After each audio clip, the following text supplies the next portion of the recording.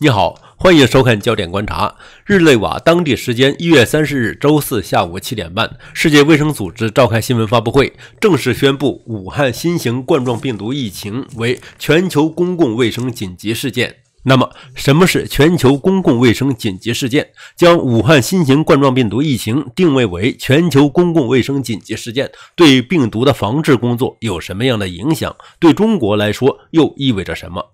我们先来看一下世界卫生组织的新闻发布会现场。We don't know what sort of damage this virus could do if it were to spread in a country with a weaker health system. We must act now to help countries prepare for that possibility.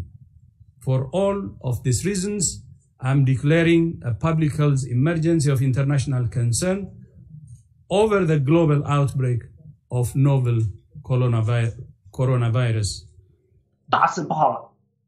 今天世界卫生组织总干事老大老谭正式宣布，武汉肺炎成为全球公共卫生紧急事件。那么什么情况下才会被 WHO 就是世界卫生组织列为突发的全球公共卫生紧急事件呢？它有三个要素。第一个要素。突发的、严重，就突如其来、突然袭击，让你措手不及。第二，非常严重，很多人感染，很多人已经死了。所以这是第一个要素，突发的、严重的。那第二个要素，这个疾病的传播已经不在一个省、不在一个国家，而是传播到全世界。所以第二。这个疾病的传播、疾病的危害是全球性的、世界性的。第三，打击疾病、抵抗病毒，这个做法、这个行为必须要各个国家之间紧密合作，必须是个国际性的。换句话说，打击病毒、抵抗疾病必须是个全球性的、国际性的动作。所以三个要素：第一，突发的、严重的；第二，危害是全球性的；第三。抵抗也是全球性的，满足这三个要素，那么就有资格成为全球公共卫生紧急事件。一月二十三日，世卫组织总干事在讲话中表示，武汉新型冠状病毒疫情在中国确实是一起突发事件，但是它尚未构成全球突发公共卫生事件。那么一周之后，世界卫生组织就宣布，武汉新型冠状病毒疫情是全球突发卫生事件，也就是全球公共卫生紧急事件。原因何在呢？为什么？三个原因。第一个原因，七天之前。那么只是在中国有确定的感染病例，国外还没有。那现在已经有了。不但如此啊，那七天之前感染人数感染人数还不是很高。那么七天之后，现在中国就将近达到八千例。不但如此，死亡人数也急剧上升。最新消息，死亡人数已经达到一百七十人。所以七天之前。还不是特别严重，七天之后已经非常严重，严重到什么程度？天塌下来了。第二，七天之前还在中国，七天之后已经跨出国门走向世界，因为除了中国以外，其他国家也已经发现确定感染病例。到今天为止，到新闻发布会为止，有九十八个人被感染。啊，并且呢，这个九十八个人里面呢，有八个是确定通过人传人的方式感染。第三，由于他的这个疾病是全球性的，抗病、抵抗疾病也必须是全球性，所以现在世界卫生组织号召大家团结起来对抗疾病，团结就是胜利。所以呢，从这三点来说，为什么七天之前它的危险级别是一般，七天之后就成了最高的传说中的全球公共卫生紧急事件？那么，如果一个国家发生了全球公共卫生紧急事件后，世界卫生组织的其他缔约国会怎么对待这个国家呢？会怎么做呢？几个几点？那第一点是好的，就是要全世界的范围内整合医疗资源，整合最新科技，来打击疾病、抵抗疾病，我为人人，人人为我。这是从治病救人来说是好的，但于对于经济、做生意、旅游来说是不好的。因为什么？因为正常情况下，旅游业贸易会受到巨大影响。那么对对这个啊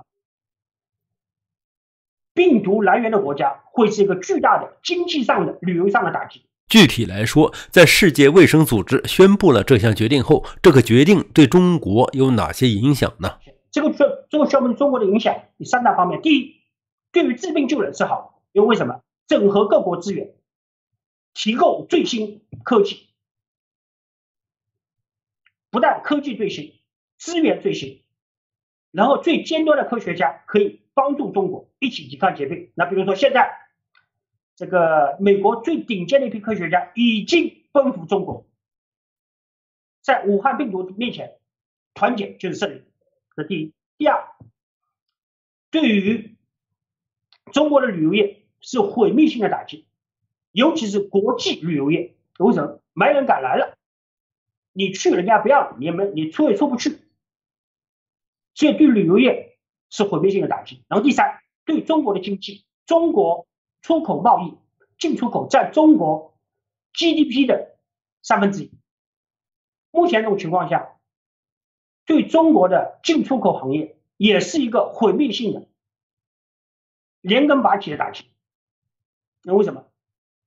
这个这个进出口占 GDP 的三分之一，如果这个进出口三分之一里面占了个三分之一，那么实际上就九分之一。换句话说，中国百分之十的 GDP 至少那就没了。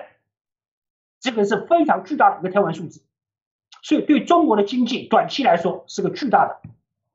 打击，所以对中国的影响哪三哪三点？第一点，治病救人是好事，旅游业是坏事，啊，进出口经济是坏事，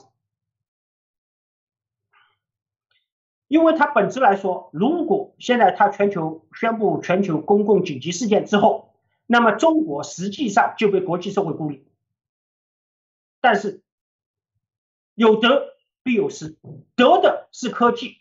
是救人，失的是经济，是贸易。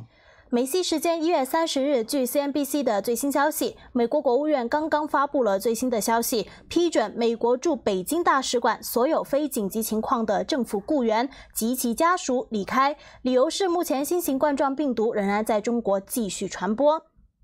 据美国国务院一位官员说，这项授权还适用于美国驻中国成都、广州、上海和沈阳的总领事馆。这也就意味着，美国驻北京、上海、广州、成都、沈阳大使馆的所有外交官员和家属都可以马上离开中国。那么，此前在周三，就是一月二十九日，有大约两百零一名美国公民从武汉撤离，在阿拉斯加短暂停留之后，于周三抵达了加州，并且在南加的马奇空军储备基地集体隔离，直到获准离开。据悉，美国国务院的这个决定是在世卫组织宣布因为新型冠状病毒成为了全球的国际关注的突发公众事件之后进行的。在新闻发布会上，世界卫生组织一再赞扬中国政府面对新型冠状病毒疫情做出的努力，也认为中国有能力解决疫情。并在回答记者提问时呼吁，不赞成其他各国停止和中国游客人员往来和经济交往。但是在世界卫生组织召开新闻发布会之前，就已经有一些国家开始包机撤侨、取消航班，一些国际公司也暂停和中国的业务往来。那么，世界卫生组织的呼吁对缔约国来说有约束力吗？没有约束力。WHO。它并不是凌驾在各国之上的一个直接领导，它是一个建议性的组织。他说的话，世界各国爱听就听，不听你把我怎么？所以 WHO 世界卫生组织就好像联合国，它没有直接法律执行力，它只是一个民间性的、学术性的这么一个。